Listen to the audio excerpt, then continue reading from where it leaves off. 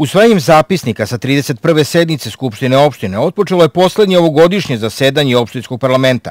Osnovna karakteristika ovog zasedanja je dnevni red, prepun vrlo važnih tema, a prva na redu je odluka o opštinskom budžetu za narednu godinu.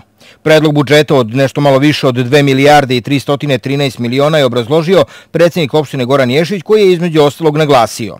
I videli ste da su utvrđeni javni prihodi za buduću 2012. godinu 2 milijarde 313 miliona 725 hiljada dinara, od kojih su 2 milijarde i 100 miliona prihodi, e, direktni prihodi budžeta, a 176 miliona 625 hiljada prihodi budžetskih korisnika.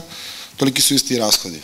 Odbornici Srpske radikalne stranke smatraju da je prihodovna strana budžeta nerealno visoka, smatraju da neće biti većih zapošljavanja, a samim tim ni onolikog priliva u opštinsku kasu koliko je od poreza na zarade planirano. Isto tako radikali smatraju da ni ostale stavke na toj prihodovnoj strani nisu realno projektovane. Ova odbornička grupa se ne slaže ni sa rashodovnom stranom budžeta i raspoloživi novac bi trošili na drugi način.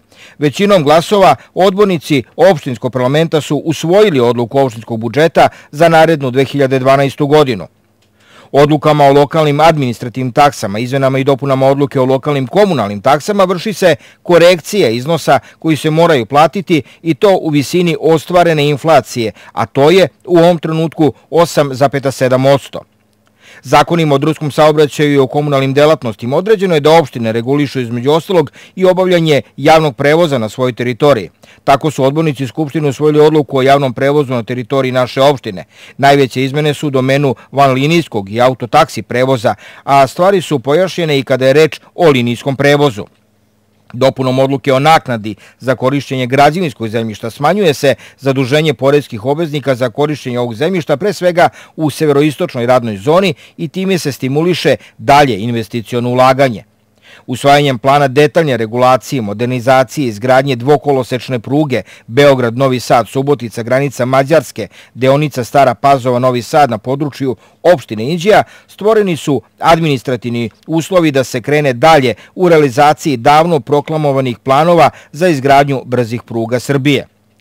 Akcioni plan zapošljavanja u Indijskoj opštini u narodnoj godini usvoje na ovoj sednici. Mere koje su predviđene ovim planom realizovaće Agencija za ekonomski razvoj opštine i Savet za zapošljavanje u saradnji sa Nacionalnom službom za zapošljavanje. Odbornici opštinskog parlamenta su doneli godišnji program uređivanja građevinskog zemljišta kao i godišnji program zaštite, uređenja i korišćenja poljoprivrednog zemljišta za 2012. godinu. Javna preduzeća, ustanove agencije, čiji osnivač lokalna zajednica, bila su u obavezi da za ovu sednicu pripreme programe poslovanja za godinu koja nam dolazi. To su oni učinile, a odbornici Skupštine opštine su na ovoj sednici te planove i usvojili. Plan aktivnosti na realizaciji javnih ovlašćenja Crvenog krsta Indija u narednoj godini bio je takođe tema rasprave na ovoj sednici uz napomenu koja se čula od strane predsjednika opštine da je komunikacija i saradnja sa ovom vrlo važnom institucijom loša.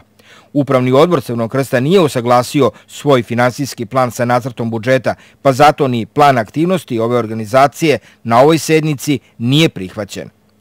Financijski planovi svih 11 mesnih zajednica su takođe bili tema na poslednjoj ovogodišnjoj sednici opštinskog parlamenta. Oni su prihvaćeni većinom glasova prisutnih odbornika. Ovo je, čulo se, bila poslednja sednica koja je održana u ovom prostoru. Već sledeća, krajem januara ili početkom februara, trebalo bi da se održi u novoizgrađenom krilu zgrade opštine.